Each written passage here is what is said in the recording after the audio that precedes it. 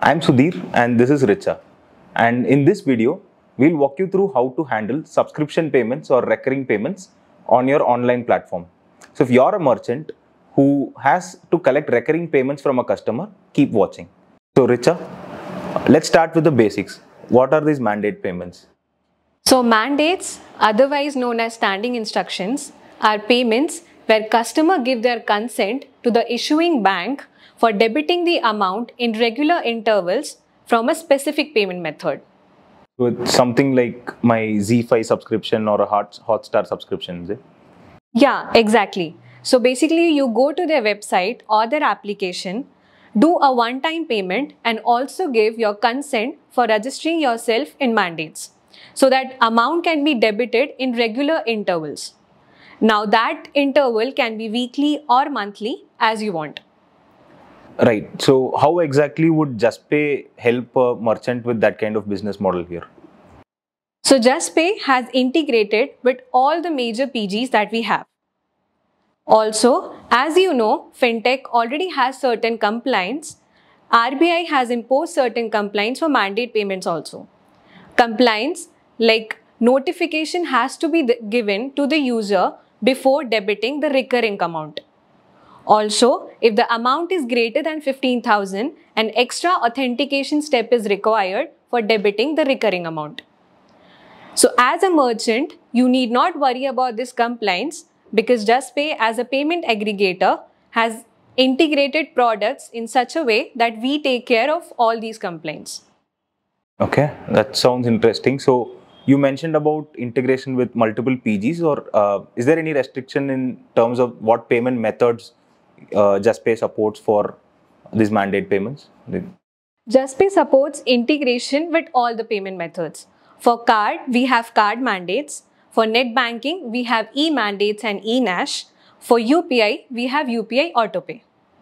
Okay, this uh, sounds interesting, but how exactly would a merchant get started now for integrating their mandate payment journey with Juspay? So I'm assuming that uh, the merchant has gone through the basic integration architecture and also have configured the PGs that he wants for doing the mandate payments. Yeah, that's a fair assumption. And for anybody watching this video, I would first recommend you watch the uh, basic architecture videos of Juspay and the basic videos on how to configure PGs on Juspay. You can find the link in description for those videos. Uh, so, Richa, how would one get started now? So there are two major steps that you need to follow for taking mandates via Juspay. One is setting up certain flags in the PG control center and second is integrating major APIs for mandate transactions.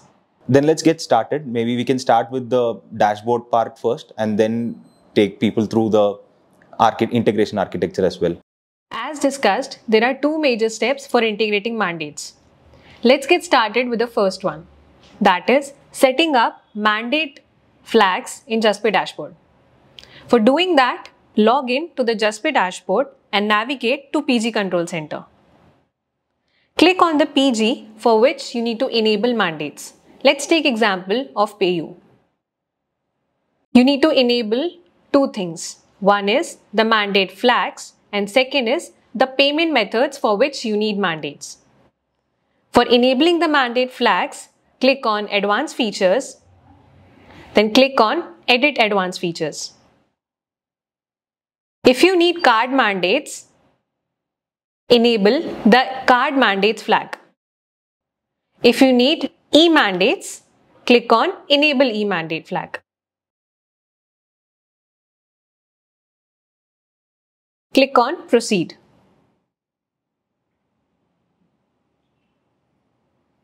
Mandate flags have now been set. For enabling the payment methods, navigate to Configure Payment Methods section and click on Edit. Here, navigate to eMandates hyphen eNACH. Click on the respective banks for which you want eMandates and eNACH. Click on Proceed.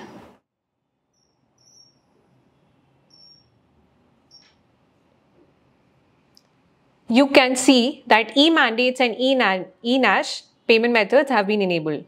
Now click on Finish. Following these two steps, you have now completed the dashboard configuration. Now let's get started with the second major step that is calling the mandates API. For calling the API, first let's understand the mandate architecture.